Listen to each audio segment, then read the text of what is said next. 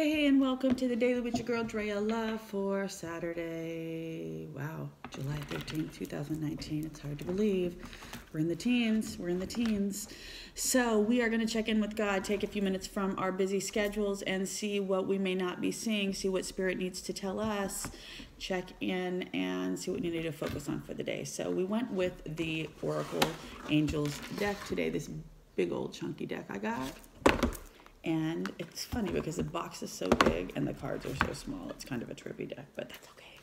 So we went with uh, the card, the pre-shuffle card. We got Muriel today. So this is where we are at to see what God wants us to hear today. We checking in with the angels, and they, they be like boy angels too. So, okay, here we go.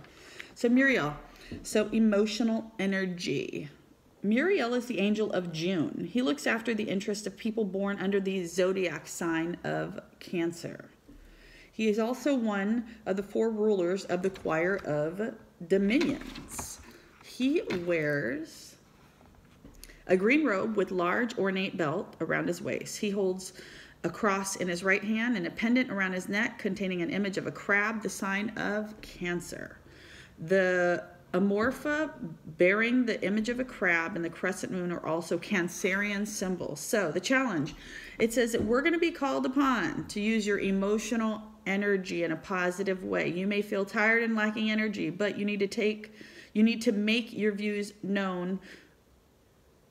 But wait, but you but the need to make your views known is too strong, okay? Let's say that again. But the need to make your views known is too strong. As long as you remain constructive, positive, nurturing, and considerate, the point of view will prevail.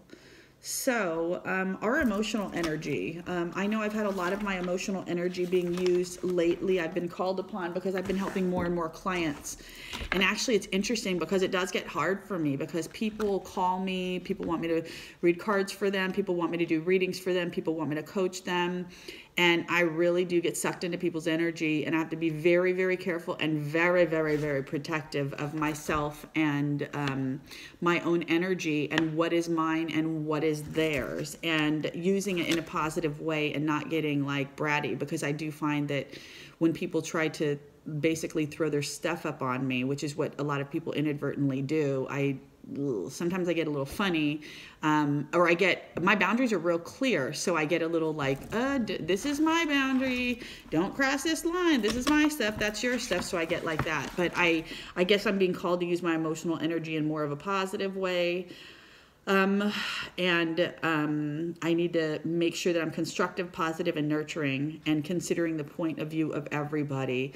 So I think having clear boundaries and understanding um, where my step is and where other people's step is, I'm more likely to be able to assist in any way that I'm being called to, in any way that either spirit wants me to help or their spirit needs help in. So trying to not be too much of me on people and trying to emotionally maybe be what people need instead of just being me on people because I can be pretty harsh and rash.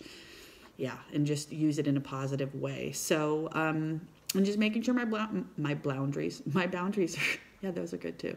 But my boundaries are good. You know, we all have a lot of uh, boundary issues and, and a lot of unclearness on what that looks like and i think that helping people giving people emotional energy can be real challenging because boundaries um, can be not clear. They're not a physical thing that we can see with our, our eye. So it's a, a thing that's out there in that invisible world that we have to feel our way around. So knowing our boundaries and who we are and being in touch with that so we can help people in whatever way we're being called to help is probably going to best serve us all so, as always, I love sharing my journey with you guys. Thank you so much for hanging out, checking in with this little goofy angel, Muriel. Talk to us about sharing a little bit more generously and being a little bit kinder in a positive way and spreading that love. So, please like, comment, subscribe, and share to somebody who you feel may need some love and some healing today from your girl, Draya Love. Check my website out at drayalove.com. You can book coaching appointments, book readings, all kind of good stuff, resources. All my socials are on there as well. And as always, I thank you guys for hanging with me. I hope you make it a beautiful day. Peace and in with love. Your girl, Draya Love.